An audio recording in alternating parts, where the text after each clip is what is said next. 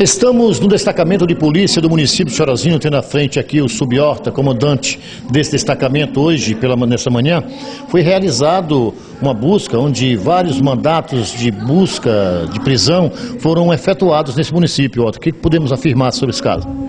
É, nós tivemos a operação hoje junto com a Polícia Civil por volta de 6 da manhã para cumprir vários mandatos de prisão. Entre eles, o mandato de prisão do é, Gimes Mendonça dos Santos, conhecido como Regis, tráfico de droga, o Francisco José da Silva, tráfico de droga, o Lucas Bezerra de Lima e o Elias Lopes da Silva, juntamente com o Francisco José da Silva, eles tentaram atear fogo no fórum para queimar seus processos, onde eles são processados por homicídio.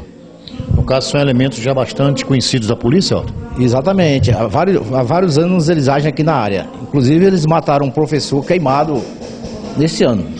Eu lembro desse caso aí, foi até uma matéria vinculada no, no, site da TV Metrópole e a gente observa aqui. São elementos frios, né, Otto? Exatamente. Eles, eles, além de terem queimado o professor e matado, feito homicídio, eles tentaram queimar o fórum para poder queimar seus processos. Otto, é a polícia trabalhando, tirando é, de circulação elementos que são nocivos à sociedade, são pessoas que estão aí né, sempre às margens da lei. Exatamente, nós estamos trabalhando aqui para isso. E ontem foi preso o Josivaldo Gomes da Silva, onde ele fez o furto de quatro baterias na estação da Oi, lá no Triângulo. Ele foi pego ainda com duas baterias. Essas baterias, no caso, ele mencionava para que era, sim? Segundo ele, era para vender, para usar, usar em carros, mas as baterias só, só servem para a estação da Oi. E ele foi preso com duas baterias e foi recolhido e está sendo feito o procedimento. De uma maneira ou de outra, subiorta, sempre ligado ao mundo do crime através da droga. Exatamente, todos eles são ligados com droga, drogas e, e pequenos roubos.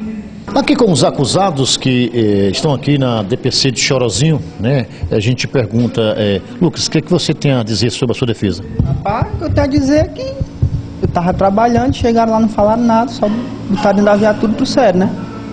Só isso mesmo. onde? Eu moro aqui no Rueirão mesmo. É, né?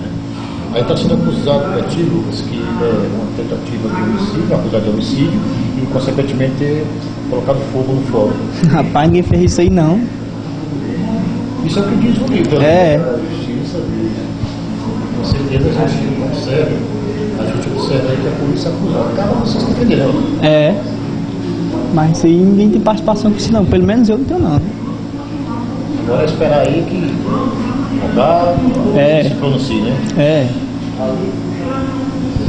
É o relato do, do, do, não, do Lucas Bezerra da Silva. Estou aqui com, com o, o, James Mendonça dos Santos, mais conhecido como Regis Regis.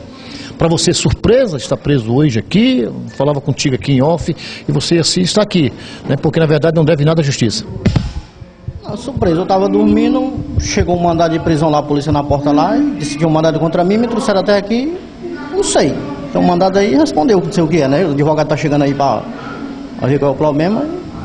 No caso aqui, no caso aqui estão sendo acusados, é, estão te acusando de tráfico de drogas. É, acusando, né? Mas eu na minha casa não foram me trouxeram, não pegaram nada contra mim, eu não mexo com isso, sou um trabalhador, pai de família, sou feirante, tenho minha cera que eu faço todo fim de semana, não mexo com droga nem nada, não foi pego nada comigo. Tá aí, vamos ver o que o advogado resolver aí, né? Minha, é, minha defesa é aí. Comigo não foi encontrado nada e não mexo com negócio de droga, nessas coisas, não mexo com isso não. Eu sou um trabalhador. Já pelas duas informações aí, tá aí. É um direito, né?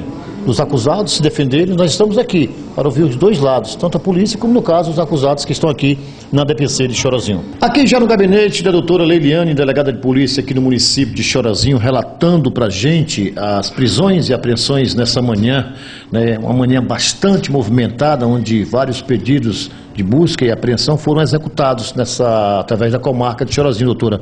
Podemos afirmar o quê? Bom dia.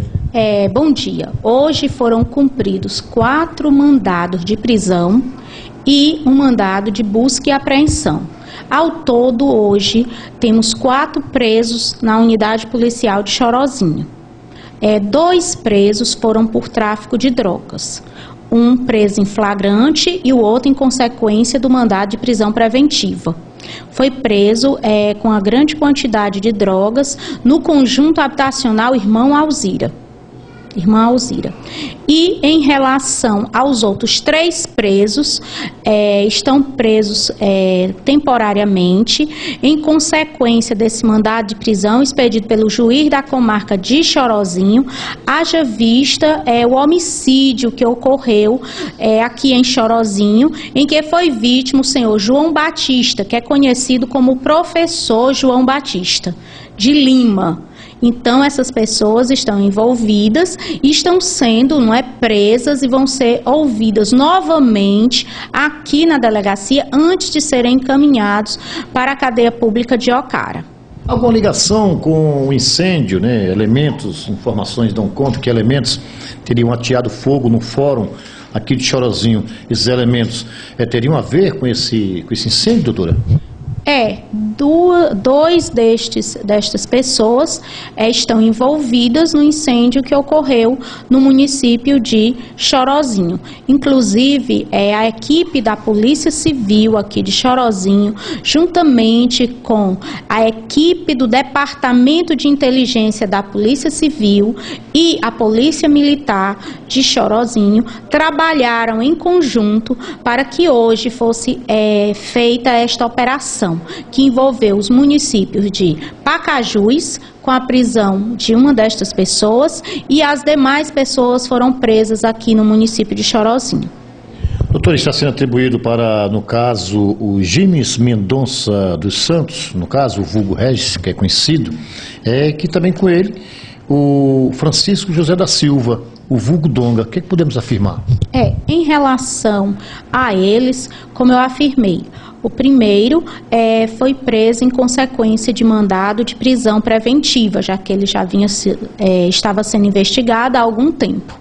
Em relação também ao segundo, ele foi preso em flagrante por tráfico de drogas que estava na casa da pessoa de nome Regis, não é? conhecido como Regis.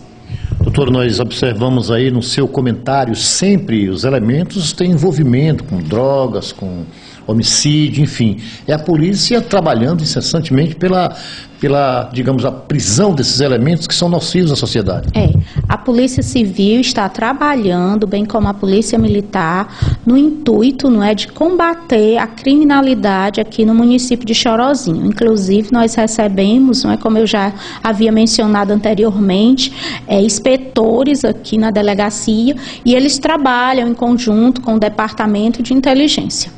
Queria agradecer a doutora Leiliane pela atenção sempre muito cordial com a nossa equipe. Doutora, mais alguma coisa que a senhora queira é, colocar para enriquecer essa matéria? As pessoas que obtiverem alguma informação podem ligar aqui para a delegacia ou para a polícia militar de forma anônima.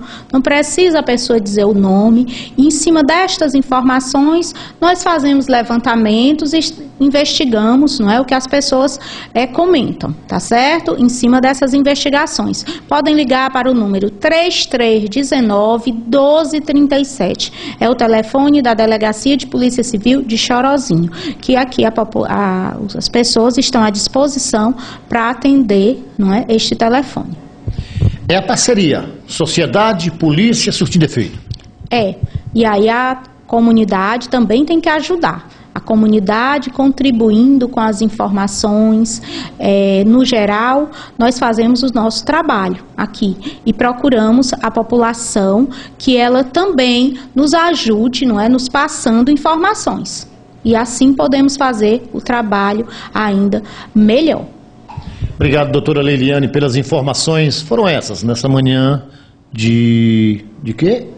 Hoje é quarta-feira, né? Vamos lá refazendo aqui. Foram essas as informações aqui da DPC de Chorozinho eu volto com vocês aí nos estúdios.